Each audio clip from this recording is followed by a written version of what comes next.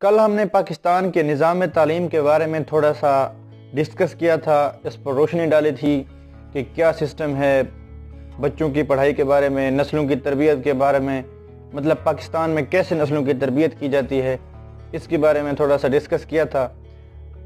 آج ہمارے پاس چند سجیسشن ہیں، چند گزارشات ہیں۔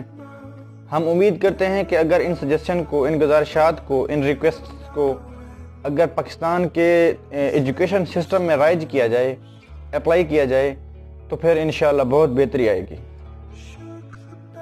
سب سے پہلے اس تاثر کو ختم کرنا ہوگا کہ کہ بھائی انگلش ہی قابلیت اور زیادہ ٹیلنٹ کی نشانی ہے۔ یقین کیجیے یہ صرف دوسری لینگویجز کی طرح، عربی کی طرح، اردو کی طرح جسٹ ایک لینگویج ہے۔ یہ ٹھیک ہے کہ یہ ایک انٹرنیشنل لینگویج ہے۔ آپ انگلش کو مکمل طور پر سکپ نہیں کر سکتے، لیکن سب کچھ انگلش کو ہی سمجھنا، انگلش کو ہی ٹیلنٹ کا معیار سمجھنا، یہ بالکل غلط ہے۔ اس تاثر کو ہمیں مکمل ختم کرنا ہوگا۔ انگلش ضروری ہے، انگلش میں تعلیم ضروری نہیں۔ یہ بات ہمیں سمجھنی ہوگی۔ پاکستان کا سسٹم دیکھ لیں آپ۔ اس طرح تو نہیں ہونا چاہیے کہ پورے کا پورا نظام ہی انگلش بیسڈ ہو۔ انگلش آتی ہے تو آپ سب کچھ ہے انگلش نہیں تو مطلب کچھ نہیں۔ یہ سسٹم یہ لوگوں کے ذہن میں ختم کرنا ہوگا۔ استادوں کو بھی یہ بات سمجھانی ہوگی، خود بھی سمجھنی ہوگی اور بچوں کے والدین کو بھی یہ بات سمجھنی ہوگی۔ چائنا کی مثال آپ لے لیں۔ وہاں چائنیز سب سے زیادہ پریفرنس دی جاتی ہے۔ ترکی کی مثال میں آپ کو دیتا چلوں۔ ایک یوٹیوبر ہیں عرفان جو نے جو انہوں نے کوئی ولاگ بنایا تھا میرے خیال میں۔ وہ کہہ رہے تھے کہ جب میں بات کرتا تھا انگلش میں تو وہ سب پڑھے لکھے لگتے تھے، لیکن ان کو انگلش نہیں آتی تھی۔ مطلب انگلش میں بہت کمزور تھے، لیکن وہ بہت پڑھے لکھے لگتے تھے ترکی کے لوگ۔ تو اس کا مطلب یہ ہے کہ دنیا کی جو بھی ڈیولپڈ نیشن ہیں، یہ لازمی نہیں ہے کہ وہ انگلش کی وجہ سے ترقی کریں۔ مطلب انہوں نے ترقی کی ہو اور ان کو انگلش اچھی آتی ہو۔ یہ بات ہم سب کو سمجھنی ہوگی۔ آپ اپنے بچوں کو اردو میں تعلیم دیں۔ یقین کیجیے کہ اردو میں تعلیم جو بچوں کو دی گئی ہوگی، وہ ان کی زیادہ سمجھ میں بھی آئے گی۔ وہ اس کو زیادہ لیکچرز کو ابزار بھی کر پائیں گے۔ نہ کہ ٹوٹی پھوٹی انگلش میں وہ ان کو اچھی سمجھ آئے گی اور نہ ہی وہ زیادہ اچھا سمجھ پائیں گے۔ نمبر ون یہ تھی۔ دوسری ہماری ادنا سی گزارش یہی ہے کہ بھائی جن آدمیوں کو آپ اپنے بچوں کا مستقبل دے رہے ہیں، ان کی تھوڑی تربیت کر لیں۔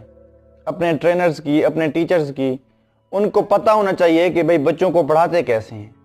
یہ ٹیچنگ پاکستان میں ایک اب مذاق بنا ہوا ہے۔ حالانکہ یہ کتنا مقدس اور بڑا ہی رسپانسیبل پروفیشن ہے۔ لیکن نہیں بھائی اس بارے ہم کوئی توجہ نہیں دیتے۔ ٹیچرز کی ٹریننگ یہ پاکستان میں سسٹم ہی نہیں ہے۔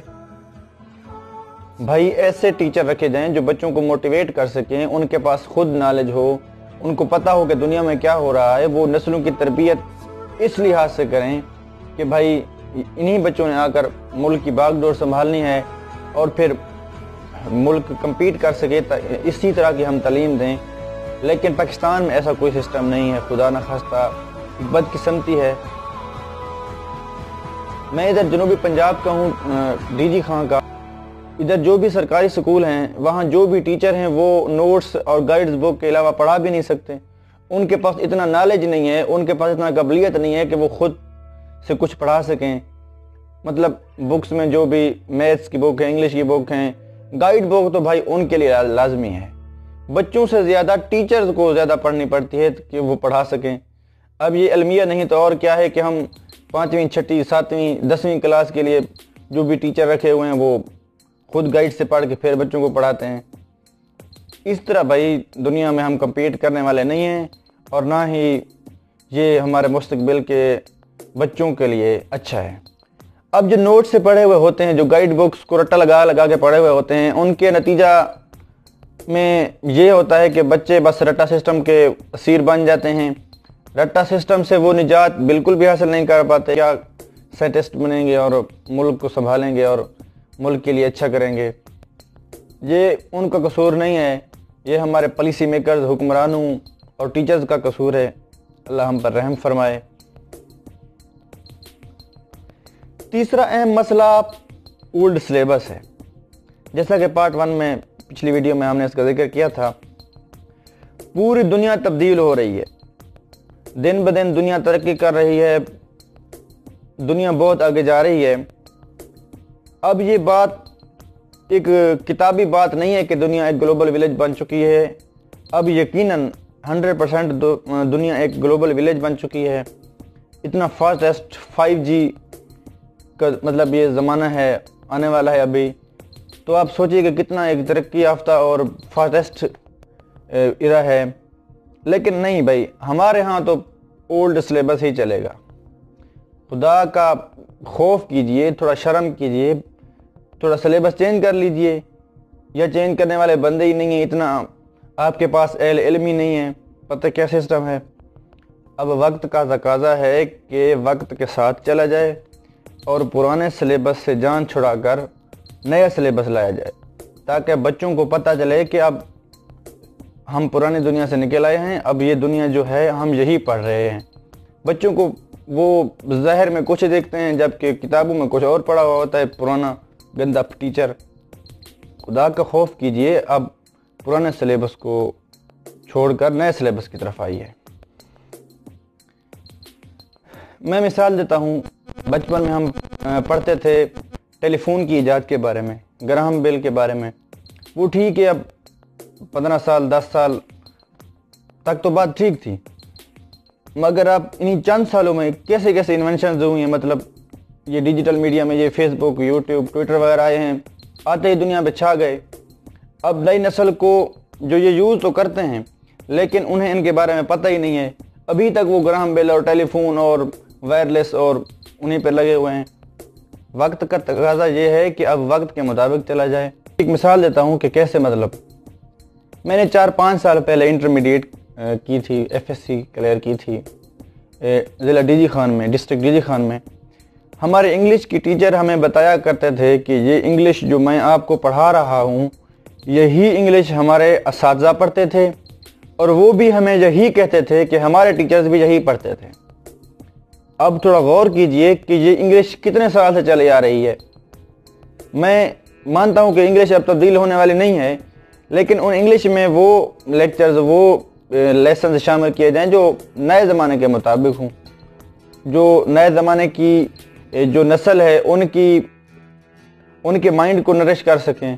نہ کہ پچھلے وہی لیسن ہم پڑھے رہے ہیں۔ بس، کچھ نہیں کہہ سکتے۔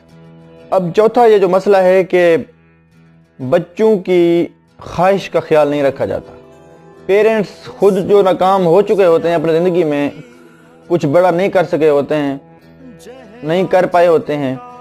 وہ جو وہ نہیں بن پائے ہوتے ہیں، وہ اپنے بچوں کے ساتھ تھوپ دیتے ہیں کہ بھائی تم نے وکیل بننا ہے، تم نے ڈاکٹر بننا ہے، تم نے سی اے کرنا ہے تم نے سی ایس ایس کرنا ہے اور تم نے کوئی بڑی اچھی جاب لینی ہے، بزنس مین بننا ہے، یہ وہ۔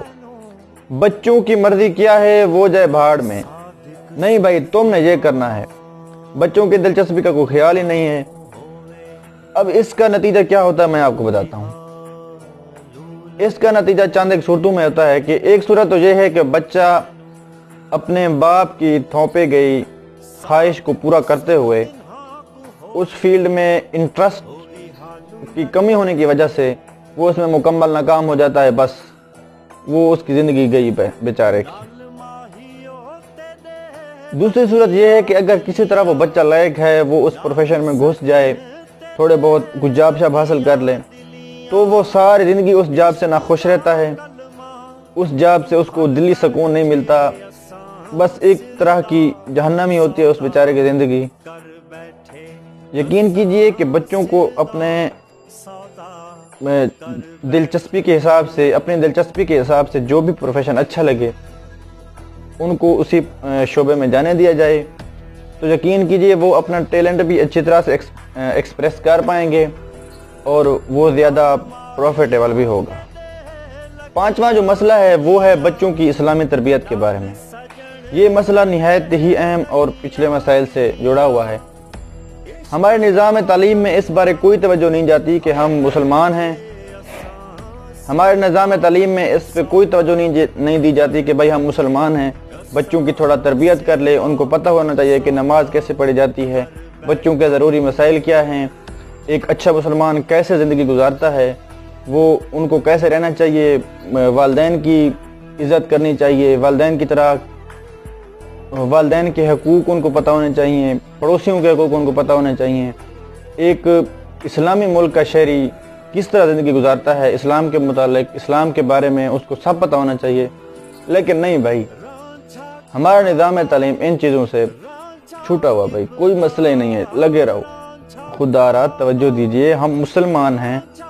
ہم نے مغرب کی تقلید میں اتنا بھی نہیں بھولنا اپنے آپ کو کہ ہمیں پتہ ہی نہیں ہونا چاہیے کہ ہم مسلمان ہیں۔ ہم نے بچوں کی تربیت اسلام کے مطابق کرنی ہے۔ اسلام نے جو بھی سنہری اصول بنائے ہیں تربیت کے بارے میں، ان کو آگے رکھیں ہم۔ یہ ہمارے پولیسی میکرز اور حکمرانوں سے گزارش ہے۔ کہ خدا اس کے بارے میں تھوڑا توجہ دیں۔ اپنی ہی مٹی پہ چلنے کا سلیقہ سیکھو۔ سنگ مار مار پہ چلو گے تو پھسل جاؤ گے۔ میرے خیال میں ہم پھسل تو گئے ہیں سنگ مار مار پہ چلنے کی کوشش میں۔ لیکن اب دوبارہ اس طرح سے واپس آ جائیے اور اپنی ہی مٹی پہ چلیے۔ مغرب کی جائز اقدامات کے پیچھے تو چلنا چاہیے، لیکن اتنا بھی نہیں کہ ہم اپنے ہی روایات کو اپنے ہی جو بھی ہیں، اصول، ان کو بھول جائیں۔ خدا رب یہ ہم ہاتھ جوڑتے ہیں۔ آپ کے ذہن میں بھی اگر کچھ ہیں، تو یہ نیچے کمنٹ سیکشن میں ہمیں بتائیے اور ہم مل کر آواز اٹھاتے ہیں کہ اب اس کے بارے میں تھوڑا توجہ دی جائے۔ تو انشاءاللہ ہماری نسلیں بھی سوریں گی اور ہم زیادہ اچھا ہمارے بچے زیادہ اچھا پرفارم کر پائیں گے۔ ہمارا پیج ختم ہوتا ہے تو ہم ابھی فل سٹاپ لگاتے ہیں۔ End of the page full stop